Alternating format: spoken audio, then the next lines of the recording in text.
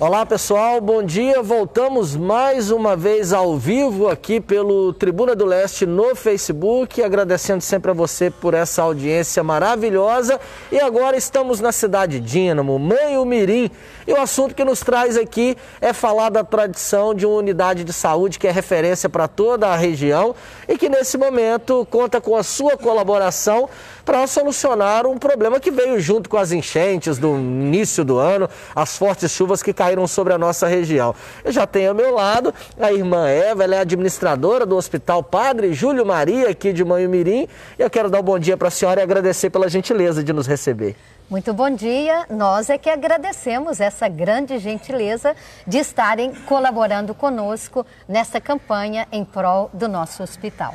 Nós vamos falar sobre essa campanha daqui a pouquinho, trazer os detalhes, como você pode colaborar. Mas antes eu queria contar um pouquinho da história do Hospital Padre Júlio Maria. Já são 80 anos de tradição, irmã? Exatamente. Muito tempo de história, não é? E graças a Deus nós é, contamos com o nome deste hospital que tem na sua origem o servo de Deus, Padre Júlio Maria. Ele que há 80 anos atrás implementou uma campanha muito bonita com o Departamento Nacional do, do Café. Foi muito interessante, conseguiu uma campanha de mil sacas de café para começar a fundação, comprando terreno, mobilizando a sociedade para fazer a terraplanagem e conseguir o que hoje nós estamos vendo aqui, o Hospital Padre Júlio Maria com uma estrutura considerável e tradicional.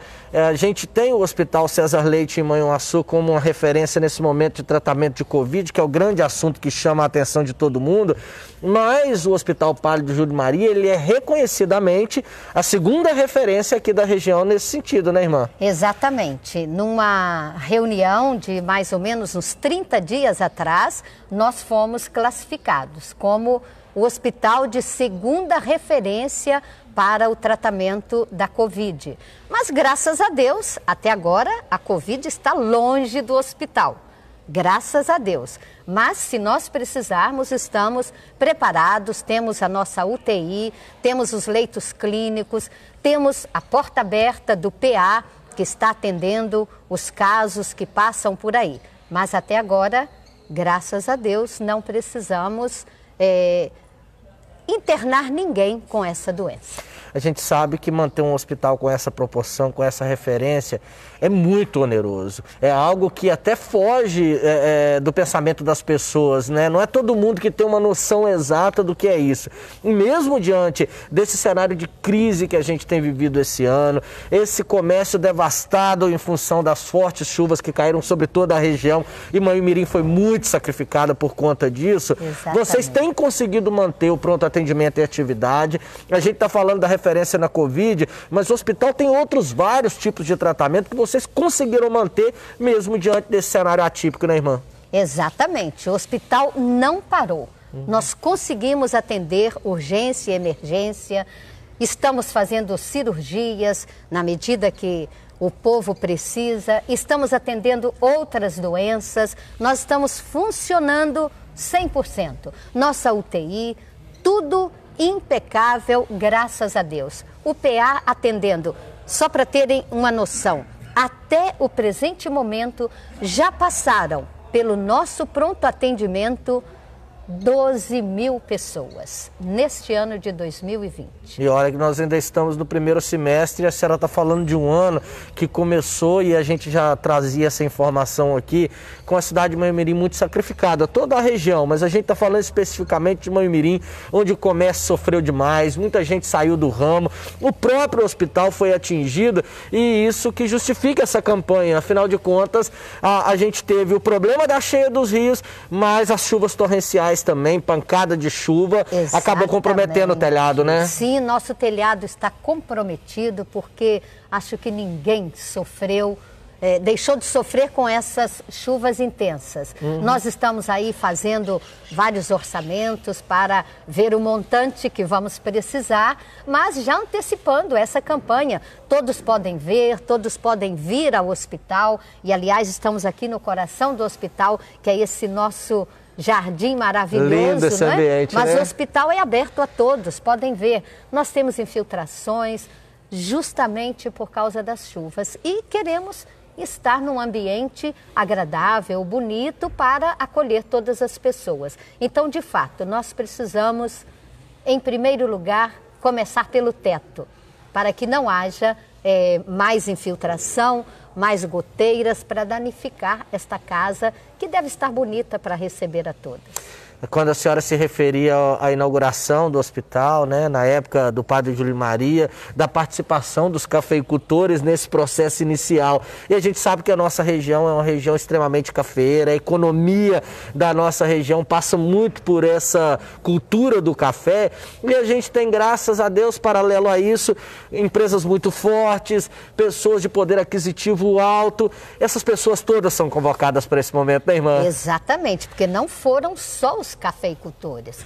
Toda a sociedade foi mobilizada na época do padre Júlio Maria. Lembro-me aqui da Liga Católica, da, dos Vicentinos Sim. e de toda a população, porque a campanha foi muito envolvente. Imaginem vocês fazerem aqui a terraplanagem do, do terreno. As famílias preparavam a comida e traziam para os trabalhadores. Algo muito bonito. E depois todos os políticos da região, todos os médicos do início do hospital se envolveram nessa campanha porque sabiam da necessidade de um hospital na região. E essa campanha durou cinco anos. Em 1934 iniciou e só foi inaugurado no dia 15 de novembro de 1939. Então já estamos com 81 anos de trabalho, não é?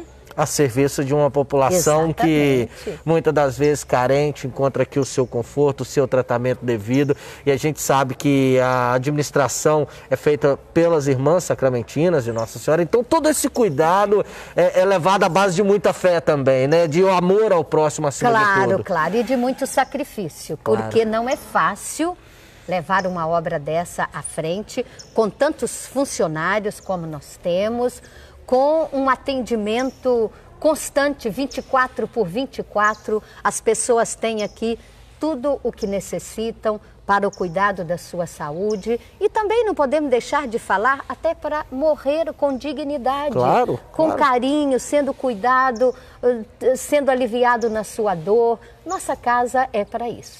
Então, gente, olha, a convocação que a gente faz para vocês é por uma causa muito nobre, muito justa. Aqui não se busca um recurso para mostrar um trabalho depois. Esse trabalho já vem ao longo desses 81 anos. Então, na verdade, a manutenção desse trabalho é o que está em jogo nesse momento. E eu gostaria que a senhora passasse para a gente, então, quais são os dispositivos que vocês colocaram à disposição para quem quer ajudar. É, nós colocamos, é, a princípio, uma conta na Caixa Econômica Federal, está naquela carta que está por aí nas redes sociais. Nós vamos sociais, tentar capturá-la aqui para trazer, né? Exatamente, todos podem ler, mas não somente depositar na conta. Nós recebemos qualquer tipo de doação e até estamos implementando também o voluntariado. Há muitas maneiras de ajudar, não só com seu dinheiro, mas com a sua participação. É verdade. Olha, deixa então eu buscar aqui a conta. A conta, anote aí. O número é 500286, dígito 0. Repetindo, a conta com o número 500286, dígito 0. A agência é 0895, dígito 8. Repetindo, a agência 0895, dígito 8. É da Caixa Econômica Federal. Exatamente. Portanto, a operação, nesse caso, é a 003. É conta corrente. Conta corrente. E aí, os parceiros, os colaboradores, todos podem contribuir, seja por meio de doação, nessas contas que a gente passou. E, aliás, essa live a gente está fazendo ao vivo, mas ela vai ficar gravada no perfil do Tribuna do Leste. A gente vai fazer uma reportagem para o jornal Tribuna do Leste e para a Rádio Manhuaçu também. E você que quiser, então, vai lá na nossa live gravada, para em cima do momento em que o Clairton fala a conta e aí pode prestar essa solidariedade. A gente vai colocar créditos também, né? O João Vitor está me informando aqui, para que você então não tenha dúvida na hora de fazer a sua doação.